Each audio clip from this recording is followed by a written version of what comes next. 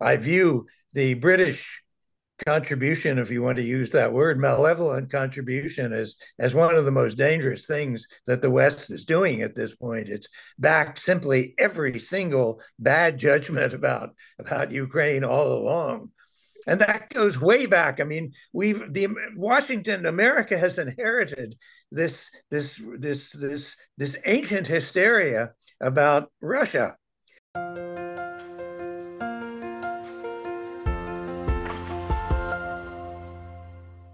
And do you think that this entire um, Syrian Syrian offensive that it is it a pure coincidence that this is happening at the very end of Russia's presidency of the BRICS, or is this something that Erdogan could have had on top of his mind? Because you know, by the end of the month, uh, Russia will will not be heading um, the group anymore. Uh, it's going to be Brazil next, if I'm if I'm right. not wrong.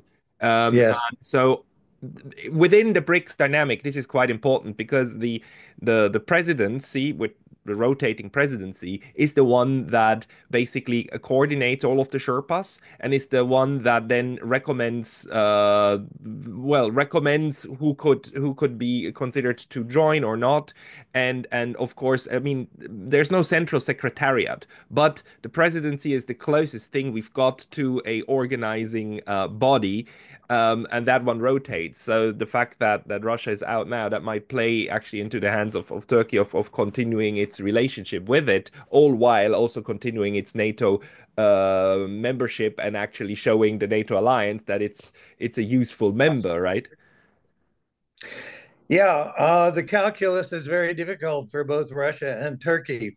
But as I say, I think in the long run, the Turkish Russian relationship is probably more important than the Turkish NATO relationship, which has not really brought Turkey much reward. Um, and it's in fact NATO, I think, is in this very strange situation of of Americans and some Europeans being quite infuriated at Turkey's rather uh, loose game, uh, being willing to buy Russian defensive missiles uh, expressly against NATO's wishes. But ironically, I think that NATO needs Turkey more than Turkey needs NATO.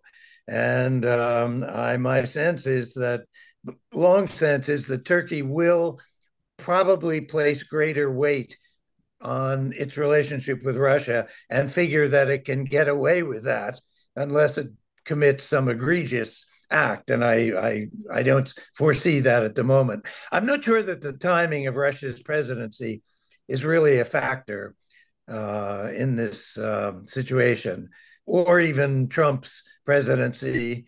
Um, or I, it's very difficult to say what all the factors were in Russian thinking, but I think they were quite wise in deciding not to become involved as a nation, as opposed to, let's say, a, a BRICS member.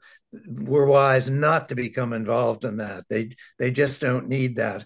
Uh, I don't think BRICS wants to get into those kinds of situations if it can possibly avoid it. I'm not sure. I haven't thought all of it through, but I'm not aware of any situations where you have BRICS members at loggerheads with each other. There may well be. And if there isn't now, it will surely come in one degree or another. But I think BRICS is definitely not in the mode of of, of collective security or security arrangements. It's much more a developmental uh, and working towards peace, which which can attract any number of players rather than getting into the the uh, security game, which of course is is Washington's favorite game and only game in in many senses the question is whether BRICS will remain operational even when member its members are at loggerheads. Um, and the the BRICS approach so far has been to build to build infrastructure, right, or to envision infrastructure. And you just mentioned the T word, so let's go to Mr. Trump because Mr. Trump said recently said some things surprising to me is like okay uh, if if BRICS wants to move away from the U from the US dollar then he's going to put like uh, huge tariffs on them right and if they dare to create their own currency which by the way is is a, is nobody wants to create their own currency in BRICS. I mean, that would be a stupid thing to do. Uh, you don't want to emulate the Europeans with the euro. That's a that's its own disaster uh, unfolding, and I think people see that. But for some reason, uh, Donald Trump seems to believe that that it is possible to threaten uh, everybody inside BRICS, which which at this point is like half the globe, basically, just with China and, and India alone, right? Nearly nearly that. Um, how do you think the Trump administration is now is now reacting or working um, with with this emerging alternative. It's it's it's often repeated like BRICS is not anti-Western, it's non-Western, but that's maybe something already that the Trump administration um, seems to look at as an insult. Yeah, I wouldn't put too much weight on what Trump says right now, or indeed much of the time what Trump says is is kind of thrown out there to see what the reaction is. It can be braggadocio. Um, I I agree. It was a very challenging in your face type of remark back to BRICS. I don't I think it was a sort of off the cuff remark and does not necessarily represent a carefully considered policy. I mean, he's not even in, in power yet. So uh, I I don't think that we're watching firm. I hope not. I hope we're not watching firm uh, policy set in stone towards the rest of the world. There, there are a lot of other people. I mean, I, one of the figures that interests me a great deal is Elon Musk, because I think Elon Musk, in many ways, represents a a real world view of of events um, that could that's very important check on perhaps some of the more ideologically wilder positions that some of Trump's other appointees have put forth. So I, I'm sure that that that that that uh, Musk would not advise Trump to to come and head on conflict with BRICS just as the whole thing is barely getting off the ground. Um, there are lots of things that I think ill-considered remarks just tossed out that I don't take too seriously yet, anyway. Uh, but uh, even if the remarks um, are maybe not to be taken too seriously, the appointments or the the intended appointments, I mean, the announcement of the people that he wants in his cabinet, those people strike me as very, very important because they are the second in charge that are going to commandeer like very, very important parts of this administration. And despite all of his promises, uh, to appoint or to to work not work again with the with the the neocons as before he never said out, out he never said he would not work with neocons, but he said he wouldn't uh, appoint the same people as before, and he actually ruled out Pompeo and Haley, which is which is great. But now he brought in Waltz, he brought he brings in Rubio, and so on. What do you make out of this? So, are we just exchanging one group of neocons for another one now? I I don't know that I don't think anybody really knows yet, but we do know that Trump has a history of mercurial actions and uh, quick appointments that were often ill-fated. I mean, we can remember how quickly uh, he changed secretaries of state, uh, moving from uh, I forget the name of the guy who was the uh, former uh, high-ranking oil executive who was really out of his own depth. Yeah, and then bringing in the the unspeakable Pompeo. Uh, but even Pompeo was at odds with him, and it's interesting. We can see now Pompeo excluded. I, I, I, I don't. There's there, there's so much um, contradictions even within the appointments that we see that Trump has made. Uh, some of the appointments I find appalling, but you never know when somebody gets into positions of power and responsibility that their views might change. But yes, I am appalled at the Secretary of State. I'm appalled at Waltz. I'm appalled at uh, at uh, the uh, new National Security Advisor. There's some guy called uh, uh, Gorka or Gorka who was a real neocon on a lot of the Middle Eastern situations. But then we have um, um we have um, Ron Ron. Um, um, I'm blanking at the moment. The, no, the no, uh, the, the very uh, Ron Paul. Paul. Oh. Ron Paul, who's very libertarian, who is very much opposed to war and hostilities and involvement in these things, who is is if you is on the side of peace, if you will, want to use that term, and also um, Tulsi Gabbard. It's very much out of that uh, mold. So, and I don't know who else may be advising. I again, we don't know what what Musk is really whispering into Trump's ear, but I'm glad that he is there because I think he's a more responsible, non-ideological voice um, in all of this. Now you. So you... anyway, I'm just saying there's a there's a mixture of of of of groups within his appointments who are at odds, very deeply at odds with each other ideologically and stylistically do you think this is by design? Do you think he's playing this? He's trying to mix together a cabinet that's going to be at each other's throats, so it's easier to manage all of them. I mean, that could be a strategy, uh, but maybe that's like over over overestimating his his. Um... No, no, I I laugh only because I think it makes some sense. Uh, I think there's been some sort of demoniac uh, logic to many of these appointments. Uh, some of them I think he just threw out there to uh, to appall the the liberals uh, and to soften them up, so that when he gets around to the people that he'd much rather appoint uh, later on, at that point they will have fought so much against his earlier appointments and and thrown out so much ink on those appointments that they will settle more gladly for the follow-up appointments. I don't know. Um, there's a famous uh, Chinese uh, proverb of saying that uh, kill the monkey. I mean, sorry, kill the chicken to scare the monkey. Uh, in other words, if you do something terrible uh, on something that's less costly, you may scare others into doing the actions, taking more. So I think I think some of these earlier appointments, maybe I'm naive, I don't know, were designed to to appall um, liberals and others and soften up Congress to accept his later later nominations. But who knows? He's Trump.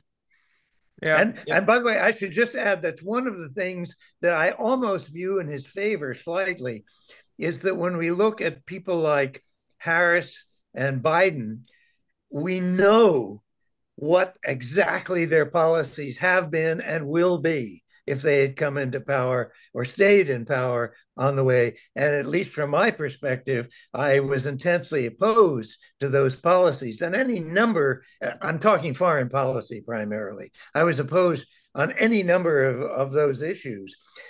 But with Trump, I, we can't say that we know exactly what he's going to do. If there's any silver lining to this, it may be that he's going to change his mind. He's uncertain. Um, there's a kind of uh, madness to some of these appointments, but that's better than known disaster uh, that I think came with the Trump Biden, with the uh, Biden Harris uh, team.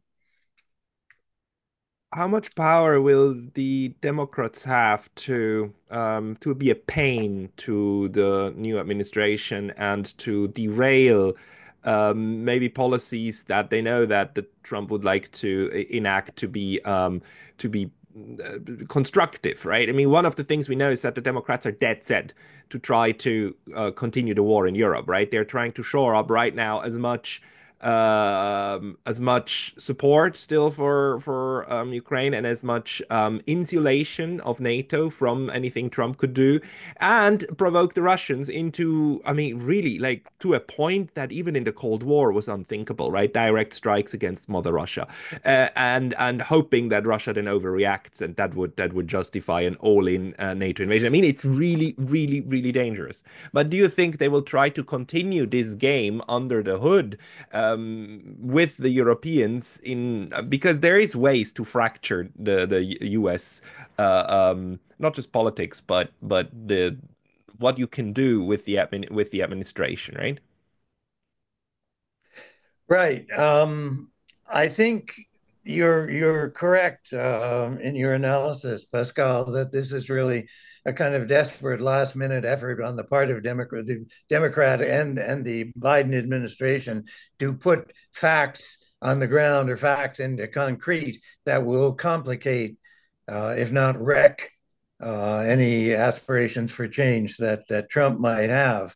But once the Biden is out of power, uh, I think the situation changes a bit, and uh, this recklessness of Biden, last minute recklessness, may uh, be harder to maintain. Uh, and also, I mean, you even find people like uh, JD uh, JD Vance, um, who is very much opposed to the to the war in Ukraine.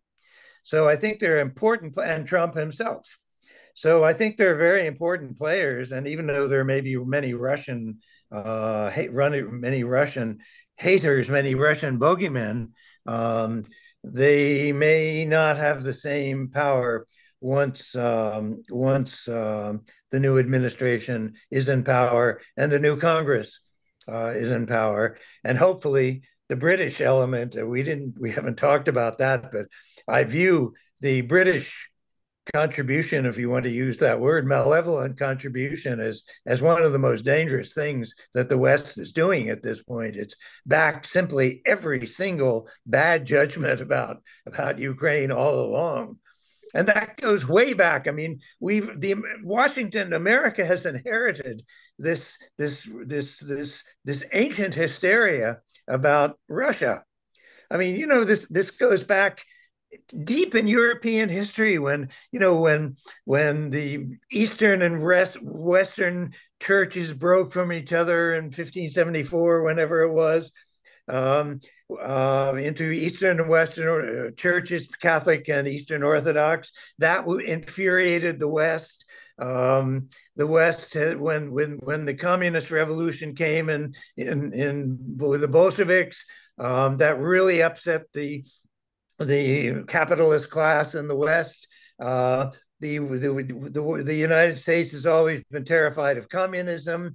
Uh, the British have always been terrified of Russia as a geopolitical opponent. I mean, this goes back hundreds of years. You know, Russia threatening the the the the the the uh, British hold on India. They were fearful that the Russia was going to come down over the over the mountains, over the Himalayas, and seize India. I mean, this has an ancient, ancient uh,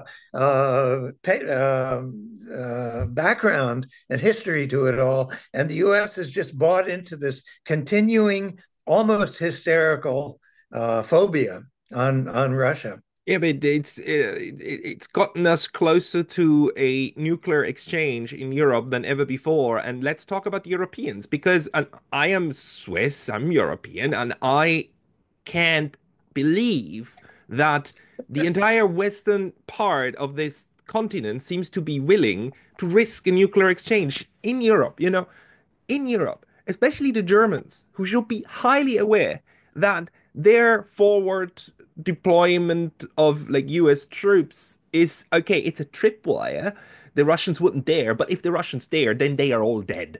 You know, it's gonna be it's it's an all or nothing game, and if it's nothing, it's especially for the German nation gonna be nothing at all, right? Um, how do you explain to yourself that much suicidal like I, what to call that? Like trigger happiness. Like, okay, the Russian roulette, the European Russian roulette that's going on. Um, how does it make sense to you? Pascal, I agree with you. I have real trouble in trying to understand this, and I've asked a lot of my European friends and people who follow European politics. I think there's several factors involved, none of them which I none of which I find fully satisfying. But for one thing, um, European membership in NATO has been extremely convenient. Let the U.S. do the heavy lifting. Let the U.S. bring it, bring all its arms here. Let the U.S. protect us. Let the let the U.S. pay for it all. And of course, as we know, uh, Republicans and especially Trump has gr- grumbled about this as to why are we paying for what for what is essentially a service to the Europeans. Secondly, I think Europeans, I hate to say it, but I feel in a sense are just fat and happy. They don't need to worry about serious geopolitical issues that are serious and require some uh, sacrifice, perhaps financial sacrifice, strategic sacrifice. Um, I feel somehow that the European leadership is one of the most mediocre that I've seen anywhere in the world. I mean, when you consider the, I, I, I, I'm, I'm no admirer of Russia as such, but when you consider the quality of, of a, of a, of a, of a, of a diplomat like uh, Lavrov uh, or even Xi Jinping on the world scene compared to the real pygmies on, on the European scene, um, who seem barely in touch with what's going on. That's another another factor. I think just Europeans have been so socialized into playing, doing the U.S. agenda as long as they are one protected and two they don't have to pay for much of anything. Uh, and the Brit and the British who feel that they're somehow, you know, riding side saddle to the American power, just showing that Britain is still a power in its own right. All of these factors coming together that make them really overlook, I think, uh, blindly, stupidly. But you're you're right. Um, uh, that's the best weak explanation that I can come up with: poor leadership, laziness, and and um, saving themselves from some money, and also U.S. pressure. I mean, this U.S. pressure is not to be downplayed. It's it's it's very very considerable on all of the European states. Right. Um, at the same time, what we are seeing is this onslaught in the media, right? Uh, in in mainstream media, and uh, you know, I was never this uh, desperate about it as I am now because it seems to lead Europe into down a very dark path, and I don't only mean the the the risk of war. I mean, what we are seeing now, what's happening, I mean, again, how Georgia is being reported on is appalling. Uh, and what we are seeing in Romania, we've just had the Romanian uh, a democratic election cancelled because the wrong guy won.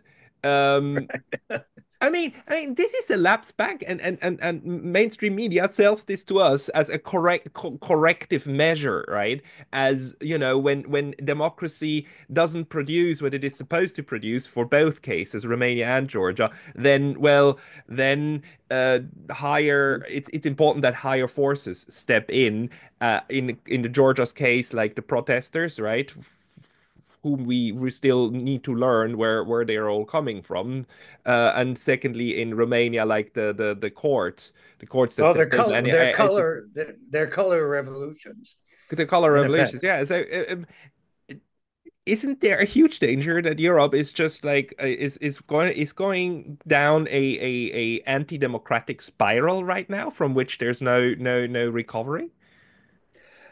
Pascal, I think you've put your finger on a very, very serious question. And I've been puzzling and deeply concerned about this myself, starting, I guess, when it first came vividly to my attention was with the onset of the war in Ukraine, when I began to observe. Well, I've never had that much respect for the foreign policy views of the New York Times, which have generally been extremely anti Russian, extremely anti Chinese, extremely pro uh, Israel and uh, a number of other things. But it, I became I became aware that gradually the U.S. press, once that war once that war in Ukraine began, was all beginning to sing out of the same hymn book and suddenly you began to you know i generally would look at the the manchester at the guardian which i would assume was rather independent or the bbc or all not a bit of it i mean all of these these media have fallen into voices single voices that all echo each other there's no light effectively among them so I think something much scarier is happening here. There is some kind of broader media control. I think it's coming out of the United States in particular, but it must find some resonance resonance in Europe. That means that we have very, very little opposition um, press, opposition, alternative voices, and you are one of them. You are one of them, and there are people like Chas Freeman and Judge Napolitano and uh, any number uh, any number of other people are bringing alternative voices. But you you have to know about these voices. You have to search them out if you will to find them to, to be informed by them. But otherwise you can read any old newspaper in the west now and almost any old newspaper in europe and read exactly the same thing like it's coming out of central central, uh, what would you like some kind of Moscow uh, line uh, about about the Western. I think that's exceptionally dangerous that we do not see serious divisions among among Western mainstream Western media on on vital issues, as you point out. What scares me is that I don't think that this is centrally controlled, even though there are obviously interests and obviously CIA and and other like uh, uh, intelligence or uh, uh organizations in the U.S. strategically leak certain documents, which then New York Times and Washington Post pick up, and then that's put to Ro- that Reuters picks it up, and then downstream the Europeans pick it up. I mean, the chain, the chain of the food chain is quite clear, but it's not centrally uh, governed, which then leads me to to think that this is an ideological moment. This is this is willful uh, uh, marching in order which is what sometimes happens when when ideologies like take over. And they are very destructive. I mean we've seen what the what what what ideology did to the chinese right? Great leap forward fantastic. Or cultural revolution fantastic. We've seen what it did to russia when stalinism uh, reigned supreme. And and how many millions of people internally it killed uh, ideology is very, very dangerous. So, uh, do you see elements of this happening to European society right now? Maybe much more than the than the Americans, because the Americans, to me, seem much, much freer in terms of you know actually discussing uh, and and and and opposing each other in the political process whereas the political process in Europe is is is properly frozen in place together with the propaganda yeah, um, I, I, think one reason, of course, is that the U.S. is much bigger and probably more diverse in general, um, and doesn't has not had the terrible experiences that Europe has undergone, which I think perhaps brings a greater caution and fear. And again, we're coming back to the reasons why they they bow so much to the U.S. Um, uh, it has also been argued that um, that is NATO that maybe helps keep Europeans from each other's throats as they historically have been uh, in the past. Maybe I'm not sure I believe that, but it there may be some truth to it. But beyond that, I think I think you're right, Pascal, that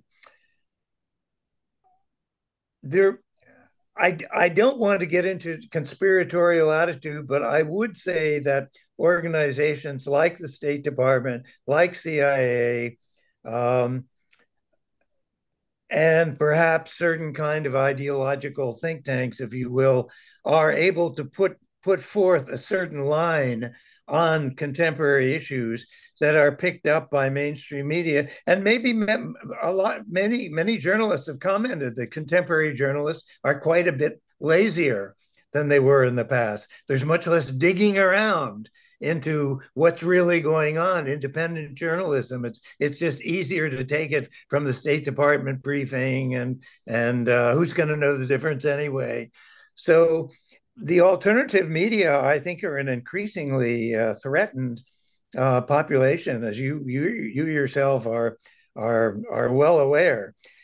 I also think it gets into something bigger. I have this nasty feeling that the world, the Western world anyway, is moving towards some kind of political order. I don't know what the best word, for want of a better word, I would call it fascism, but I don't mean this in a derogatory sense. I mean it more perhaps in the Italian sense uh, of a of a cooperation or coordination or conjunction of interest between corporate corporate life and government life. And I think that was quite evident. Uh, whatever you know, whatever the bad things that Mussolini did, I mean, there there there, there was clear that there was a, a a joining of the corporate with the with the political, and I fear that that is now becoming more uh, likely. It's also as as the American media become narrower. The, they're purchased by ever smaller groups of, of rich men, the New York Times, LA Times, Washington Post, uh, many others are owned by single individuals, which makes centralized control far easier. You then have these very disturbing things like um, the um, uh, I forget the word that's used. You you'll think of it, or I will think of it too. Truth squads um, of trying to identify uh, false news, faux news, misinformation, disinformation. That's a very very scary thing. Yeah. Um, the fact checkers. And fact checkers. And, that's right. I mean, there there are very few lies out there. It all depends on which facts you choose to interpret and which facts you tend to lay give weight to. So I can see that you know already men. I mean, I don't know about uh, X or New York Times, but I mean already I think there are organizations trying to make sure. I mean, when we even have these debates, when there are fact checkers uh, going on at the same time, it's getting harder and harder, I think, to to to speak independently, and government having a greater voice over. I mean, even recently, I think Congress was trying to pass some kind of act that uh, to make it a crime or a felony or whatever to make certain kinds of criticisms of Israel. I think in Germany there are such laws on the books, perhaps right now. I'm not I'm not positive, but but anyway, all I'm saying is that there is a greater degree of state control and yeah. into which the media is buying uh, and and and supporting in their in their own way. Europe may be even worse off. I know less about it than you do, and you would feel it. You would feel it more closely in your own very fine, independent manner it seems to me that we are at this moment where the the true autocrats, the true people who feel that they are the only ones who have a right to interpret what's going on, are selling us, uh, are selling us down, selling us into some form of uh, of autocracy light under the banner of protecting freedom and and everything. You know, the way pretty much in a very similar way in which. Uh, um, in which during COVID the political crackdown all came in the under the un, under the banner of protection, right? And I mean whether or not that was right is is like out of the question, right? It's it comes protection. You, we are we are being protected into like little compartmentalized cells, protected away, um, and protected from inf- certain kinds of information. Yeah, because because I mean, how people suddenly start developing their own ideas. I mean, no, we must protect them from bad ideas, right? so that's that's very important. Um, Graham, but the problem um, is the, the problem is uh, Pascal that it is easier than ever for state instruments and media instruments to control these things probably 20 30 years ago before the internet and things of this sort much more difficult to try to exert that kind of centralized control but it's become become quite quite easy now with uh, with uh, online online media and government control of this of this media. Yeah, which is why we are all watching what's happening to YouTube and disinformation space here, right? One of these places where where discussions are possible, um, albeit with a lot of asterisks to it. Um, Graham, um, any any one more topic that you wanted to talk about because otherwise we're nearing the 50 minutes. We, we already uh, surpassed the 50 minute mark. If people want to read from you your where where can they find you? Your blog is where?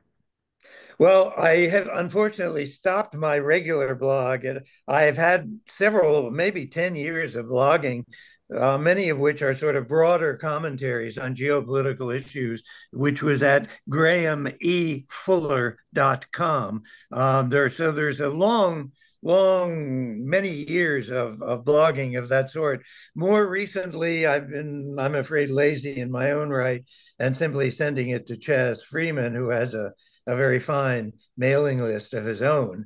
Um, I should perhaps get back into the business of doing. Eh, but anyway, Graham E. Fuller will take you back into many, many back issues, many of which are still quite relevant to today. And then on uh, Chas Freeman's um, um, Salon uh, listserv, uh, I Chas Chas regularly carries my stuff when I send it to him. I'll put all of that into the description of this video. Graham Fuller, thank you very much for your time today. Thank you, Pascal, and for posing some really very uh, provocative and interesting questions. Thank you.